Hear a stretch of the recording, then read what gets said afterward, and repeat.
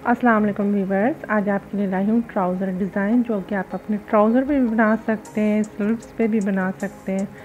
तो ये मेरे पास ट्राउज़र का फैब्रिक थोड़ा सा बचा हुआ था तो मैंने सोचा इस पर मैं डिज़ाइन बना दूँ। इस तरह से मैंने ये चौड़ाई में नौ इंच का लिया है और अब इसके बीच में मैं निशान लगाऊँगी साढ़े सात इंच पे। ये बुकरम मैंने इस पर पेस्ट कर दिए। अब एक इंच के गेप से मैं इस पर साढ़े छः इंच पे निशान लगा दूँगी इसकी लेंथ फिर उसके बाद मैं एक इंच के गेप से साढ़े पाँच इंच पे निशान लगा दूँगी। इसी तरह से ये मैं तीन लाइनें मार्क करूँगी, एक साढ़े सात इंच की, एक साढ़े छः इंच की और एक साढ़े पाँच इंच की।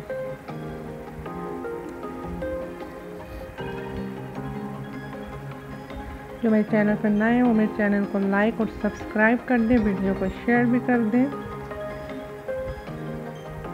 इस तरह से ये निशान कंप्लीट हो गया। अब मैं इसमें एंकर का धागा है मेरे पास, मोटा रेड कलर का, वो इसमें बाइबिन में भर दूँगी। उसके बाद ऊपर मैंने सादा धागा लगा दिया है। अब इसके ऊपर ही मैं इस तरह से डबल सिलाई लगा दूँगी। इन सब इसी तरह से डबल सिलाई लगानी है। इसको उल्टा करके रखना है, ताकि जो रेड वाला धागा है वो एंकर का, वो नीचे की तरफ़ आए, कपड़े के ऊपर आए और बुकरम के ऊपर सादा धागा आए।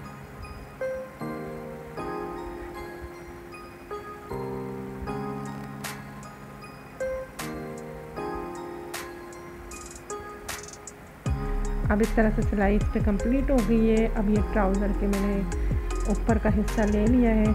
अब इसको बीच में रख के इस पर एक सिलाई लगा दूँगी।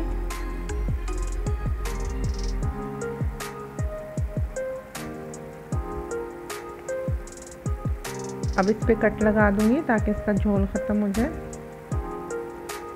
अब इसको सीधा कर दूँगी। फिर इस पर प्रेस आप कर सकते हैं, आप सिलाई भी लगा सकते हैं, पर मैंने नहीं लगाई। मैंने ऊपर ही डायरेक्ट फोल्ड करके इस पर एक सिलाई लगा रही हूँ इस तरह से। बस एक ही सिंगल सिलाई लगा दी, आप चाहें तो ऊपर लेस भी लगा सकते हैं, अच्छी लगेगी।